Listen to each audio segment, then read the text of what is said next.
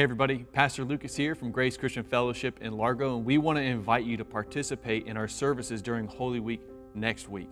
We have something almost every day next week, and we want to have you join us.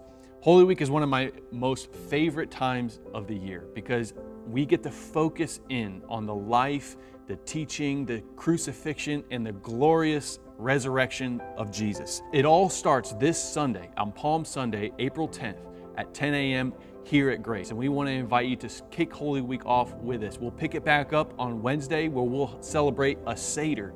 And that's, we're going to have the organization Jews for Jesus come in and we're going to have them go through a Seder meal or Passover meal, all according to Jesus being the fulfillment of all the prophecies. As well, on Thursday at 7 p.m., we have a Maundy Thursday service.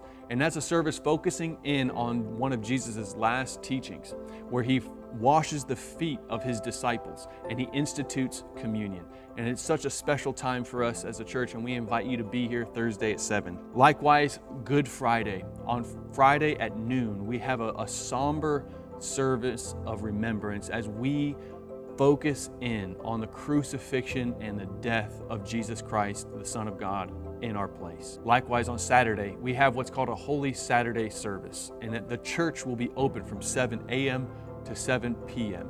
And you are welcome to come into the sanctuary and pray for any need that you might have, uh, whether it be for yourself, a family member, a friend, or the world. We invite you to offer up prayers uh, here in this quiet place as we reflect on the death of Jesus and anticipate the resurrection. And it will all end on Easter Resurrection Sunday.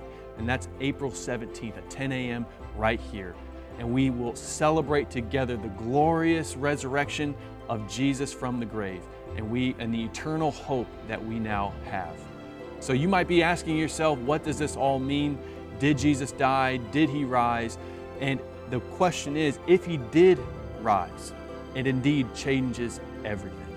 So if you'd like to follow along with us via email during Holy Week, we offer devotionals day by day uh, through email. So you can go to gracechristian.com slash Holy Week and sign up for that because we would love to send those to you.